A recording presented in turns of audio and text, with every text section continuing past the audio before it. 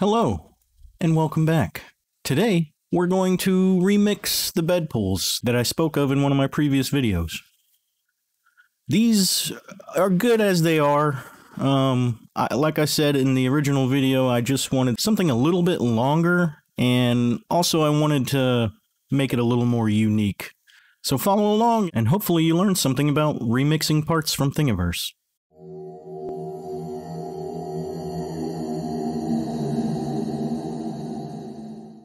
So I've got the part open in Tinkercad. And the first thing we're going to do is grab a box, pull it down a little bit. Now I want to bring it up to level just with those nubs there. And then I want to come to the end of these so I know to stop. These kind of butt up against the release levers or whatever you want to call them for the glass plate. So we're going to go ahead and group those now this line that it left, it's not going to transfer over to the print, but it does help me to know where I shouldn't go beyond, so I'm not having a fitment issue. So we're going to grab a box, bring it down. I believe this is about 4 millimeters. Yep. We're going to go ahead and match the width at 30 millimeters. Okay. And then I still want that curve on the end there, like the original pull has. So we're going to turn the radius up a little bit. But what happens when you turn the radius up is you get curvature on the bottom. Well, on the bottom and the top. So the way to get rid of that is to grab another box, come down about a quarter of the way into the radius box, Bring that back up to 4. Now you see we still have the curves on the end, but it's flat on the bottom. However, it's still curved at the top. So pretty much we have to do the same thing. Grab another box. Pull it about a quarter of the way. And group them. And there we go flat on both sides, but we still have the corners curved. Now we'll pull that over. I think that's about long enough. We'll go ahead and align it to make sure that it's centered. It looks pretty good. So we'll go ahead and group that. Now, you see these lines here? Like I said before, they're not going to show up in the actual print. We'll see, you'll see that it won't even show up in Cura. Anyway, I want to add a unique design here, so the way we're going to do that is with this. This is a very well designed look-alike for an Ender 3 that makes the hot end look like the CR6. Now, I don't need all of this at all, but I do want the emblem here. So what we're going to do is grab a box, size it about right, bring it in just a little bit, turn this into a hole, and as you can see I brought it just a little bit too far. Back it up some. And that looks pretty good. So we'll go ahead and group that. Now we have the emblem embossed.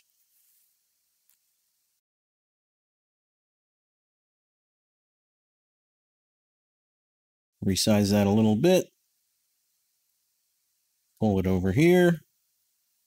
Then we'll take another box. And just get rid of the excess. And there we go. We have the emblem. I'll go ahead and pull this down and size it to fit.